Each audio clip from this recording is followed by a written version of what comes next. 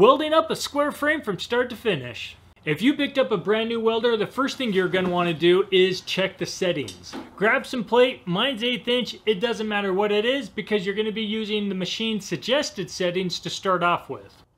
By doing a little test like this, you're testing out the machine to see if the settings are hot, cold, or just right. The first bead is just to give you a feel for the machine and to make sure that it actually works. Would have continued on with those same settings, but I did want to turn it down just to show you what a cold weld would look like. It's small, heat up, and you can see that it's not tied into that base material. And then I turned it up a little bit, uh, still a little cold right here, got a little warmer towards the end. And lastly, on the opposite end, if you got a weld that is just big, uh, inconsistent, and burning through, your settings are way too high. On the flip side, I went back to those suggested settings and uh, just threw down a couple more welds as practice, and they turned out pretty good. This is eighth inch plate, and since I have eighth inch wall thickness for my square tubing, I'm gonna keep the settings exactly the same.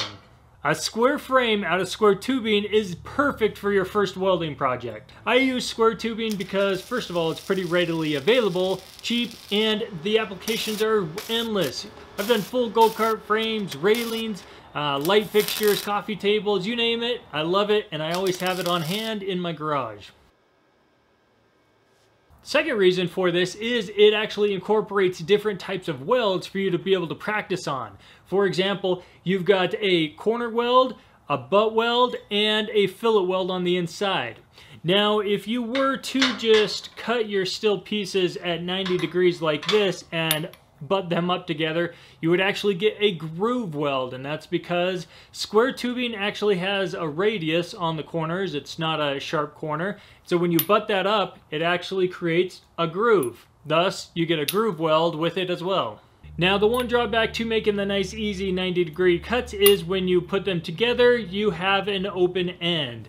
So usually for frames if it's going to be something I'm showing off or on display then I like to miter my cuts. It does take a little longer but you miter the cuts and then you can butt them up together and it makes a nice seamless weld, no open ends, just makes for a nicer finished product. All the tools I'll be using I talked about in my last video, so you can watch that, and I'll also put a link to all of those in the description. The angle grinder will be your best friend.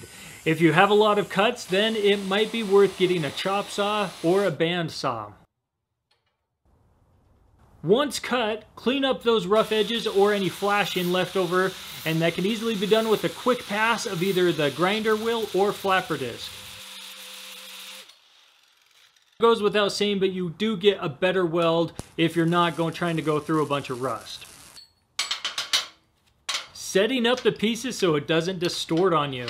Since you are melting and cooling the metal, physics can do wonders on your piece.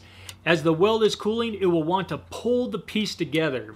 If you do this fillet weld right in the beginning, what once was a nice 90 degree will turn into a cute angle. I'm sorry, I'm sorry. Stupid geometry jokes.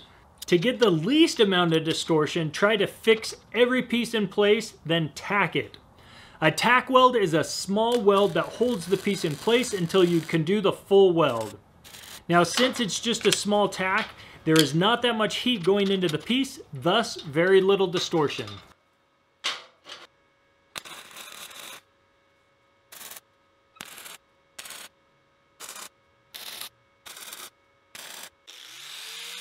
For a smoother, consistent bead for your final weld, grind down your tacks.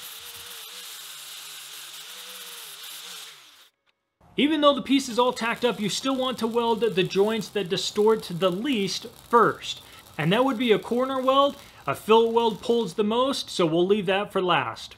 I'm starting on the corner joint, and look at the end. It comes to a point, so in other words, there's not that much material there that you're going to be welding. So whatever your settings are for the thickness you're doing, turn it down one thickness. I want to weld that entire length without running down into the plate, so I've propped it up, and that also gives me a little more room to make that full weld.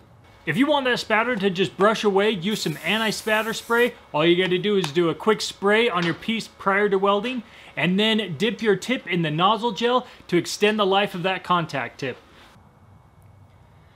Now moving on to the butt welds. As mentioned before, if the corners weren't mitered, then we would have a nice pocket to fill it, and that would be a groove weld. Don't forget to turn the settings back up. Take note of your stick out.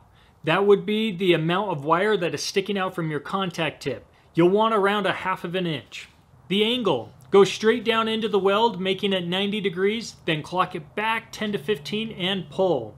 If there's slag, then drag. Lastly, watch your speed. Obviously, if you're moving too fast, you're not going to give it enough time for a puddle to form.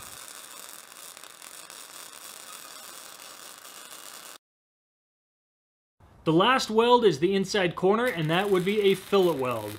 I'm propping it up again, and that's because if at all possible, place your pieces so that you can do a flat horizontal weld. It's much easier than a vertical and overhead. Once you turn the corner, hold it there for a second to tie into that existing side. You can clean up with either a wire brush or wire wheel, and if the welds are good, then you're done. But since it's the first one, let's say some of them didn't turn out that great. Well, a grinder and paint make the welder you ain't. Take out your grinder and have at it. With the weld ground down, you can simply finish the project, but I'd say take this opportunity to weld over it again for more practice. And personally, I like the good looking weld shown anyway. If you do want the welds ground down, start with the grinder wheel and finish with the flapper disc. Since the flapper disc is sandpaper, think of it like finishing a wood project. The higher grit you go, the smoother or shinier your finish you're gonna get. If you do want it painted, no need to go higher than 80. The final step prior to paint is to do a quick wipe down with either acetone or a cleaner. This will get off any residual oils and dust from the welding and it will prep it for paint. Overall, this is actually the same size frame that I used for my pendant lights that turned out, I think, pretty good. If you've got the material and want to bump up the size, this actually is a perfect start to a go-kart frame.